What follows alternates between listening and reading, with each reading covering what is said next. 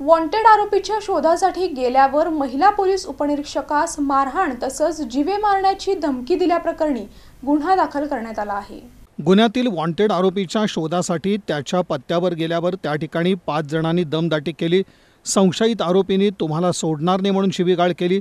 जीवे मारण्याची धमकी दिली. चाकू घेऊन अंगावर धावून आले. लाथ मारली. अशी फिर्याद पोलीस उपनिरीक्षक संजीवनी भट्टे यांनी सदर बाजार पोलिसात दिली. त्यावरून पाच जणांविरुद्ध गुन्हा दाखल झाला आहे पोक्सोच्या गुन्ह्यातील संशयित आरोपीच्या शोधासाठी पोलीस उपनिरीक्षक संजीवनी भट्टे या त्यांच्या पथकासह शिवाजीनगर मोदीखाना इथं गेल्या होत्या. त्यावेळी शकिला हफीज शेख दानिया हफीज शेख जोनिया हफीज शेख जबेरिया हफीज शेख यांनी तुम्ही हफीज शेख यांना का शोधताय? तुमची हिंमत कशी झाली घरी यायची? मी पत्रकार आहे. तुम्हाला माहिती नाही का? माझी मुलगी वकील आहे तुम्हाला सोडणार नाही.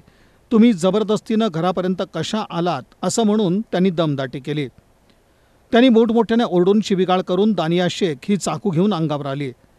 तिने एका हाताला नखानं बोचकारून लात मारली असंही फिर्यादीत नमूद आहे.